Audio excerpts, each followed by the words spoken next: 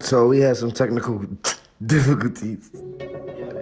I thought he was 31, he's 35.